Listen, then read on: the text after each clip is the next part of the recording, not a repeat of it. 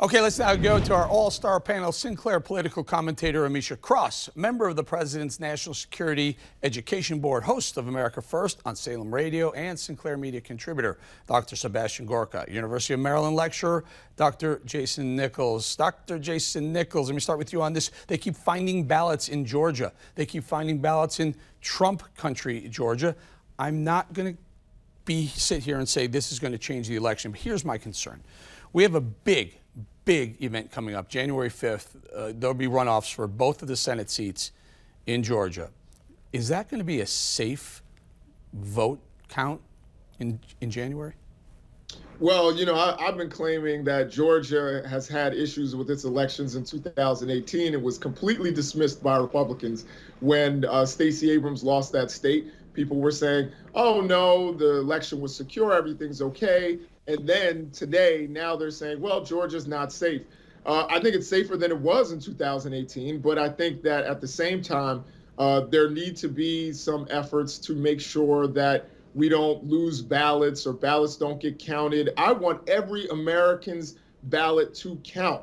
I don't want to stop counts in certain places and keep counting in others, which is the hypocrisy that's been coming from the right. I think that we need for Georgia to get its act together. Uh, the people who are incompetent, who are not getting it done, need to be moved aside, and they need to bring in people that are actually going to make sure that uh, people's votes are being counted. Uh, uh, Sebastian, let's talk not about who's going to win in January, and we all have our, our, our opinions on who's going to turn out the vote. Let's talk about that election, uh, the actual vote, the counting of the votes. Are we going to be uh, okay with the with the results of the January runoffs for both of those Senate seats, no matter who wins?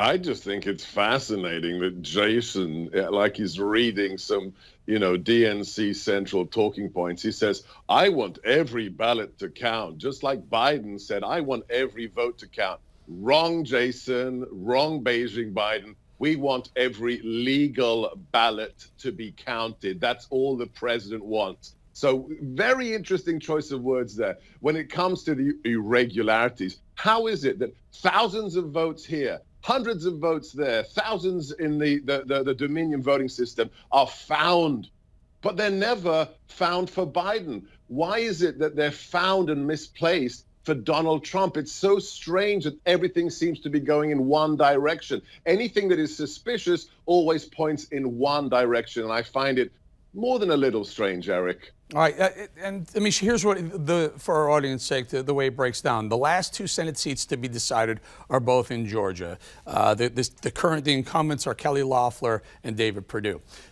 If the Democrats flip both of those seats, if they flip both of them, there'll be a 50 50 tie in the Senate. Therefore, the vice president, assuming Kamala Harris is the vice president, she will break the tie for the Democrats. So they'll have the House, they'll have the Senate, and have the White House tall, tall order to flip both of them simultaneously, is it not for, for you Democrats?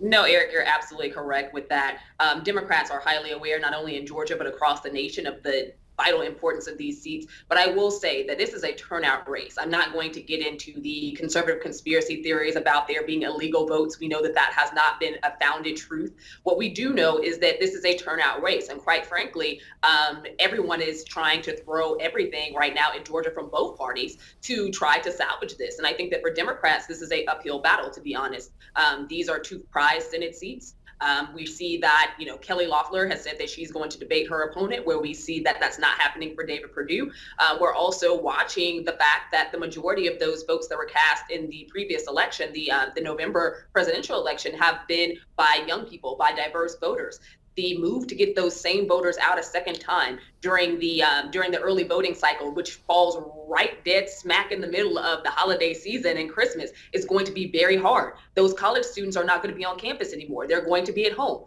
This poses a significant challenge for Democrats, and I think that right now, um, full disclosure, my fiance is with the ACLU. They are trying their very darndest to make sure that there are not any um, voter irregularities, but also that turnout matches what we saw before. Right and it's a tall order. So, uh, Sebastian, final thought. Got half a minute, and it, boy, is there going to be a a lot of money spent in Georgia over the next couple of weeks.